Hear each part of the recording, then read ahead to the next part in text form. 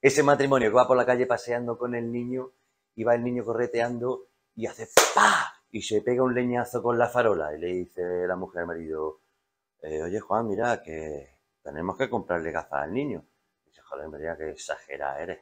Coño, o una vez que se tropieza con la farola dice, sí, pero es que la está invitando a salir.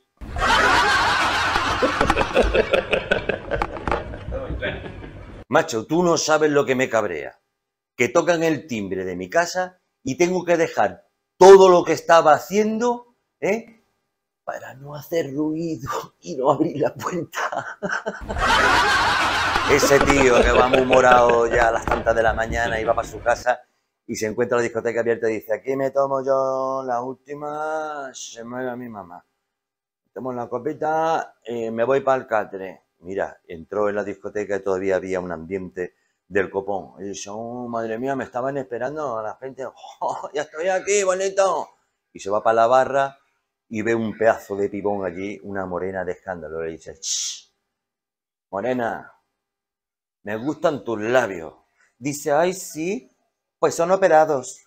Dice, pues tus tetas. Dice, pues también son operadas. Dice, tu culo. Dice, pues también lo tengo operado. Dice, bonita, ¿tiene algo que no se ha operado? Dice, sí, el nabo. Estos dos amigos que se encuentran y le dice, hombre, ¿cuánto tiempo sin verte? Dice, ¿qué de tu vida? Dice, pues, hace siete meses que contraí matrimonio. Dice, contraje. Dice, hombre, contraje, no vas a con pijama, no te jodes. Ese individuo que va al médico y le dice, mire usted, doctor, que me parece a mí que tengo un empacho de bacalao. Ah, sí, a ver, todo se pone, ¡Juja!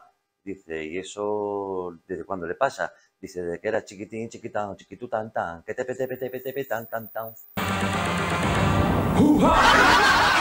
Hola, buenas. Hoy quería hacer una preguntita.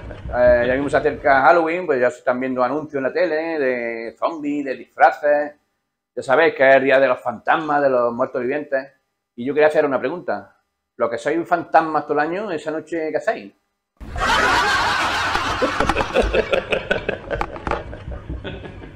Esa madre que le pregunta al niño, oye, ¿y las notas? Dice, mira mamá, que no me la ha querido dar el profesor, que dice que vayas tú. Bueno, pues ya y yo, ahora mismo me cojo, me visto y voy. Y va esa madre imponente, buena a reventar, un cuerpazo. Total, que llega al colegio, entra en el despacho del profesor y nada más que entrar le dice el profesor, desnúdese y échese en el sofá. Dice, pero profesor, si he venido solamente a por las notas del niño. Dice, ese niño ya no sirve, tenemos que hacer otro.